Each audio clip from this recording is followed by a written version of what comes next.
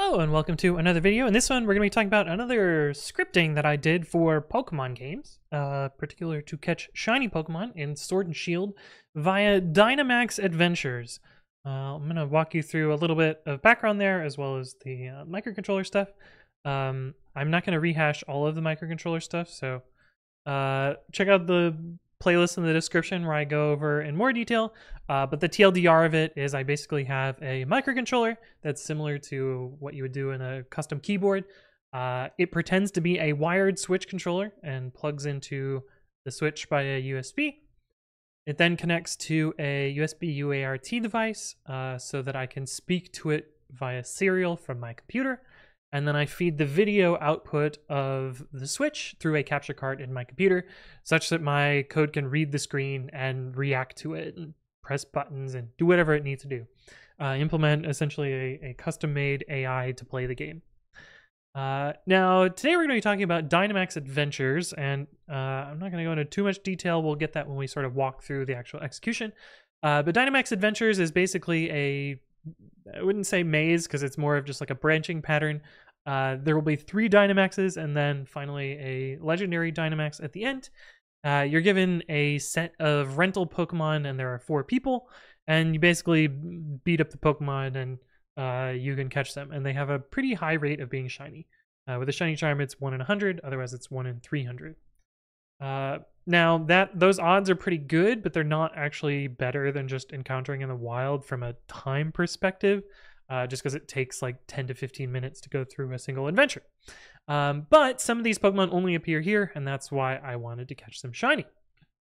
Um, but yeah, yeah, and you can see here shiny Pokemon from there.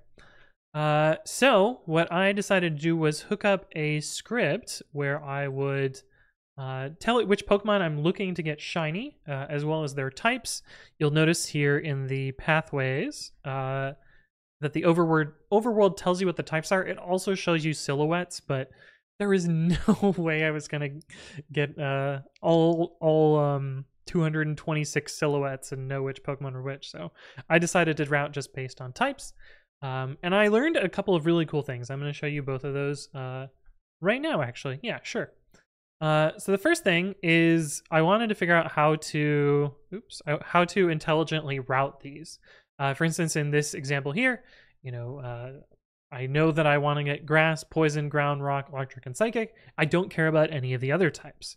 And so I need to be able to identify where this arrow is pointing and how many different options there are in order to choose one.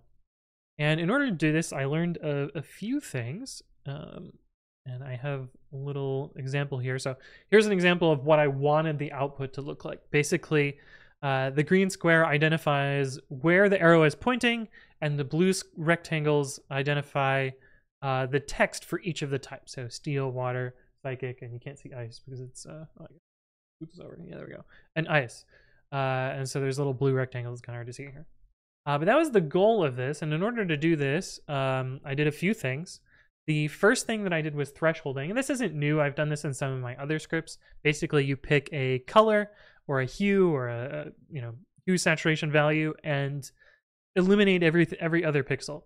Uh, so what I did here is I looked for things with a like high saturation. I don't know, high something, uh, so that I only get the white pixels out of here. Uh, and not really caring about hue because you know it could be any of the any of the colors of, of you know the rainbow. Uh, once I had gotten these pixels thresholded, so I basically have the white ones, a human, it's really easy to identify right now. Oh yeah, obviously the arrows here, you know, these are the texts there, uh, but a little bit harder for a machine. Uh, next, I eliminated all the boundaries. Basically, I cropped out all the stuff that I don't care about. So eliminated everything to the left here, everything above here, and everything below here. I had to be really careful about the below part, and actually the first part of this script uh, sort of messed up, and the um, first route actually puts the text pretty low. Uh, and this is actually a previous route here, so we don't actually want to care about the water here. So it's important to crop this correctly here. Um, once I had cropped this, uh, I used a technique called, uh, I think it's erosion and dilation or something like that. Uh, basically, it takes any sort of grouping of pixels and turns them more into blobs. Uh, so you can see here, I've, I've sort of blobified all of the things here. Uh, it eliminates all the little holes inside this, as well as uh, kind of turns the text into a rectangle. Uh, once I have these rough rectangle shapes, I can then use contours, uh, basically identifying the shapes inside this and figure out their bounding boxes. Uh, from the shapes, I can tell, you know, this is a small square, this is a rectangle, this has a sort of larger square bounding box, etc. Uh, I can eliminate all the small squares. I don't care about those. I know the big square is going to be my arrow, and I know the remaining rectangles are going to be the types. And then from that, you know, I can get these, these rectangles that I showed in the first picture. And then I can pass these rectangles into an OCR engine and, you know, figure out uh, what the text is. I think this is actually probably the, the, the, most intelligent part of this whole script, and it probably took the most uh, thinking in order to get this working. But I wanted to show that. Uh, another problem that I had with this, and we'll actually uh, I'll forward ahead in this script a little bit to where uh, we're actually battling something. Too far. Here. Uh, so you'll notice that there's a move arrow and there's a bunch of different moves that it can choose. Um, I wrote a little AI to pick the best move. Uh, it's it's not very good at doing so, but uh, in order to identify the best move, it needs to know where this arrow is pointing, so it clicks on the right move. Uh, and I had a really hard time identifying this arrow because uh, if you see, if we'll be able to see it really quickly here, but the arrow actually bounces back and forth. And so there's no definite pixel where this is. Now there is a black outline here, but I found that the black outline actually isn't always black. It's some other random color. Yeah, you can see the arrow bouncing there. Um, but I need to basically figure out where this arrow is. And so I learned another technique in order to do that, uh, which is, I believe it's called template matching. Uh, basically, I took a, a screenshot of that and yeah, and identified the arrow, the move arrow, and blanked out the background. I don't really care about matching that on the image.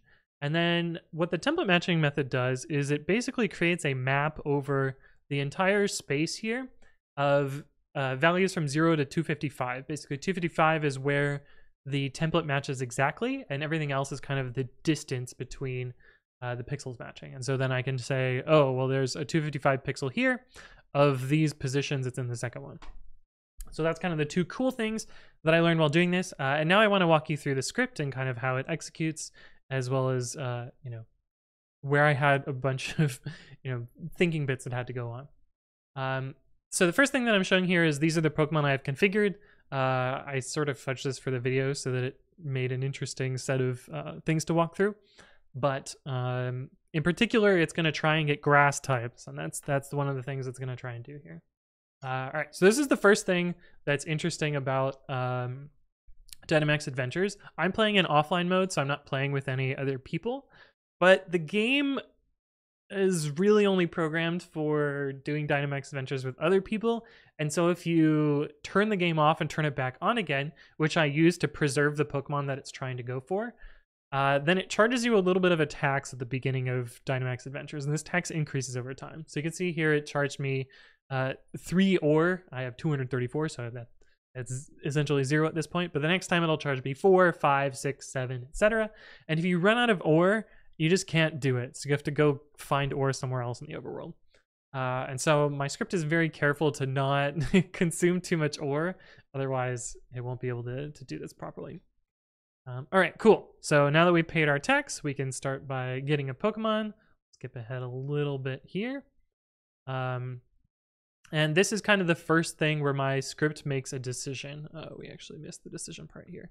Uh, so I could probably program what the best Pokemon are in Dynamax Adventures, uh, but I got lazy. And the nice thing about Dynamax Adventures is you don't have to build a very good AI to win at it because you have three partners that are decent-ish, and as long as you're not, you know, attacking your partners, you're probably going to win most of the time. But I wanted to pick good Pokemon.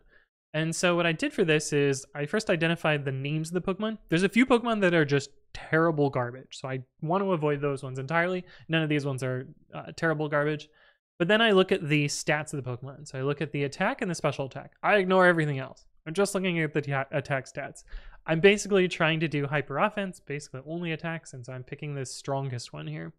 Uh, in this case, 181, this special attack stat here is going to be way better than anything else. And so you'll see here that it picks uh, Duraludon instead of uh, everything else. Duraludon being big building Pokemon. Uh, and then Dynamax Adventure should start here. Uh, you'll see at the bottom that we have rock and water type. Uh, I don't actually care about either of those. Oh, wait, maybe I did program in rock for this. We'll see. Yeah, okay, rocks has a score of one. Basically, it cycles through all the possible paths here, figures out what their type is, and scores them against the number of Pokemon that I might try and get in those paths. Uh, we saw the Pokemon list earlier. I guess I can just open up here again. Oh yeah, we did have one rock Pokemon in here, Rhydon. Um, so it picked rock here. Now this isn't one of the Pokemon that I want. Neither is this one. This is actually a rock type too, uh, but the script doesn't know that. A human can pick this out pretty easily, but figuring out silhouettes here would have been so hard. Uh, okay, so we start our Dynamax here. Uh, the first thing that it needs to do is identify what this Pokemon is. It could use this text up here. However, this was one of the first mistakes I made in the code as well. This white text up here often has the Pokemon behind it, and if the Pokemon is white, the text is really hard to figure out. So what it does instead is it opens up this menu and figures out what the Pokemon name is. It also tries to figure out what the types are here, and this is important because, uh, at least for me, it was important because I was trying to get Alolan Raichu, uh, which is a electric psychic type. Normal Raichu is also in this, and my script, the earlier version, spent a lot of time wasted trying to get the wrong Pokemon shiny. Uh, so the script here tries to identify those. Um, and so you can see here, uh, oh, this is the move part. So it tries to figure out what move is good based on the effectiveness text, how much PP is left, and the power. Uh, and it's not very good at that. You'll see here that it picks the wrong move because, uh, you know, it has some trouble parsing the PP. It has some trouble parsing the effectiveness. This here is supposed to say effective, but it has square bracket nonsense. Um, but it cycles through the moves, tries to pick the best one. It's a little bit slow. Like a, a human's going to be much better at picking the right move immediately, but this was good enough and something that I could just run in the background without really worrying about what it's doing. Uh, but anyway, forward through here a little bit. Uh, once it has defeated the Pokemon, which should happen right here, um, it knows whether what type this Pokemon was or what what you know species it is, and decides not to catch it. If it were a Pokemon that it wanted to catch, it would obviously catch it. Um, we'll show one more pathway, and then I'll show you sort of what it does at the end, because uh, this is a little bit redundant here. Yeah, okay, so you can see here that it picked a score of two for grass. So we had two grass Pokemon. Uh, and we battled this Gloom, and this was one of the ones that it wanted to catch. So we should see here that it'll try and catch the Pokemon. Uh, or not. Oh, wait, no, it wasn't Gloom that it was trying to catch. It's Bellossom that it wanted to catch. Okay, we'll skip ahead a little bit more. Uh, and the catches in this are guaranteed, which is kind of nice. So you can use whatever Pokeball you want. And um, and it'll always succeed at catching the Pokemon. Yeah, these take a long time. We're skipping a lot of the, the video here. Blah, blah, blah. Okay, so it catches the Pokemon, um, but I don't know whether it's shiny yet. It generates its shininess at the end of Dynamax Adventure, so even though this is a non-shiny Bellossom here, it might be shiny when we finish the adventure and check the Pokemon. Um, so it catches the Pokemon, uh, there's some logic to check whether it should switch Pokemon if this had a better attack stat, but skip ahead to the end where we finally uh, we see that we got Bellossom here. It's going to check the summary, and oh, that's a little glitchy. And if it's shiny, there will be a little star here. I actually have an example of that. This here shiny. Yeah, so you can see it'll have a little star here. And what my code does is it grabs this little rectangle here and then tries to find red pixels in here. And if there's like 240-ish pixels, then it knows that it's shiny. If there's zero, it knows that it's not shiny. Um, and so in this case, there's no shininess. Uh, it actually cycles through this a few times because uh, it could have caught up to three Pokemon. And since it found a Pokemon that we wanted, it's going to soft reset the game and start over again. Uh, but basically, that's how this script works. Um, I learned, I think, a bunch of cool stuff, and I hope you found this interesting. Um, thank you for watching, and I'll see you in the next one.